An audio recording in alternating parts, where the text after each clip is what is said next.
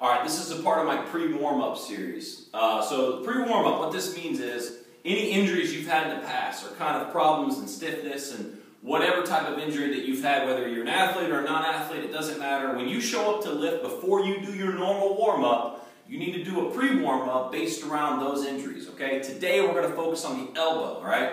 Elbow slash wrist, but mainly the elbow, okay? I want you to understand three things. For the elbow, to keep this healthy, we need soft tissue work, okay? We need mobility slash flexibility work, as well as strength work. And what I mean by strength work is more the endurance, high rep type stuff, okay? We're going to do a lot of mini strength exercises, and you'll understand what I'm saying here in a minute. A lot of lifters, they'll get this, this tennis, or sorry, this tennis elbow, the um, golfer's elbow, whether it's the, the medial epicondylitis, the lateral epicondylitis, um, a lot of throwers. I work with tons of baseball players. Uh, whether they have a mechanical deficiency in the delivery, they'll kind of get some stiffness and some kind of irritation through here. So I'm going to show you some things that I've done in the past when I've gotten that tendonitis in here and tendonitis in both sides, kind of help you out a little bit. So, first thing I want to show you, I have four exercises, is the palm stretch, okay, the wall uh, palm stretch. You can use a wall, but I'm going to show you here on a box squat box kind of help you out. So first thing you're going to do is you're going to get onto this box and you're going to stretch right here and hold this stretch for one minute before you even get started. We're going to sit right here. You should be feeling this all the way through the forearm, all the way through the flexors, all the way up through, up to that medial, uh, that medial epicondyle. And for me, I've had injuries here in the past, so I'm definitely real tight right here. You want to hold this for one minute. This is before you start your regular warm-up. Okay? So after I get that, I'm going to reverse. I'm going to do the other side. Okay? This part right here is key. I'm going to put the top part of my uh, hand on this and I'm going to rotate my elbow inside here to where I can really feel that stretch across the top of my forearm here.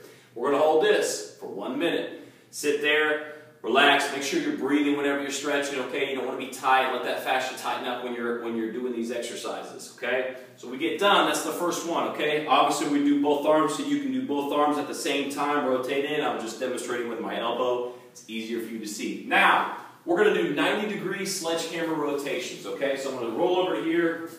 I'm going to grab an 8 pound sledgehammer. So I do a lot of physical therapy um, with uh, therapists, and, and they're only doing their jobs, but a lot of the times they're doing exercises that are easy. It's, it's not working. It's, it's too, it's, it's kind of going through the motions type exercises. It happened with my lower back when I fractured my lower back.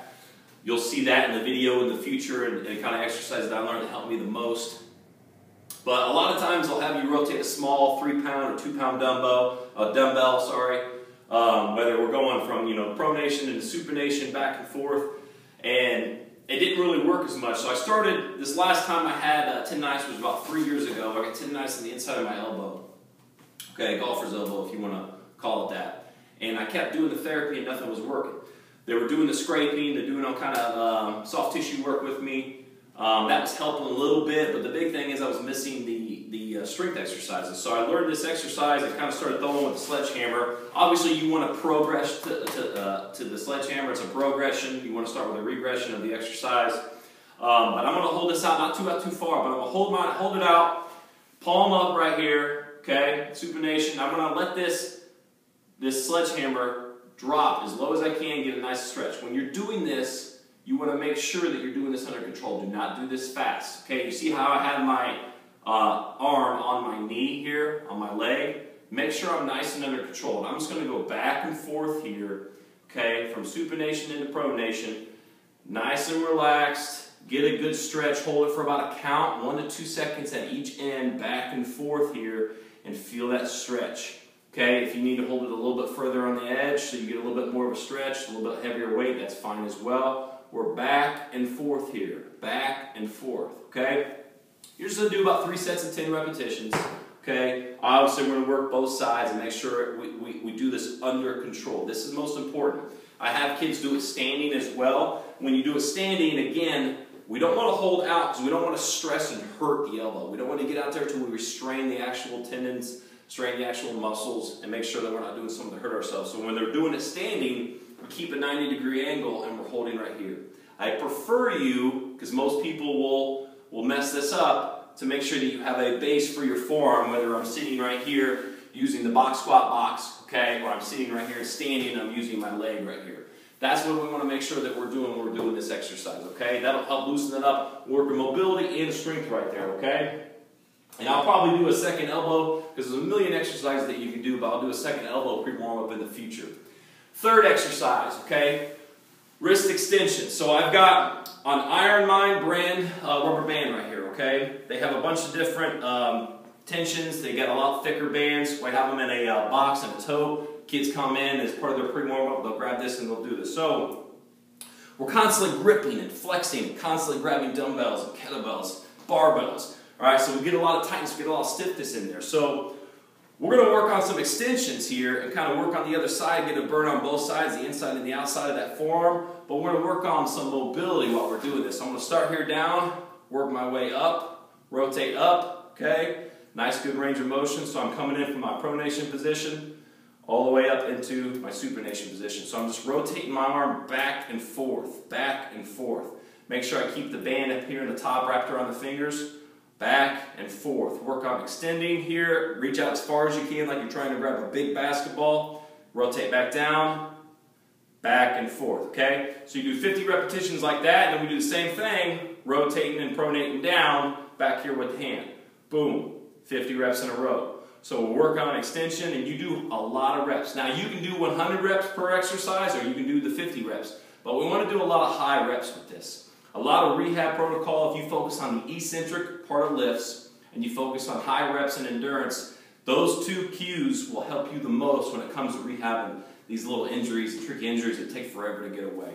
That's what I've noticed a long time. And you'll notice in a lot of my other exercises, especially the back one, the high reps that ended up helping me out the most. So make sure you're rotating, right?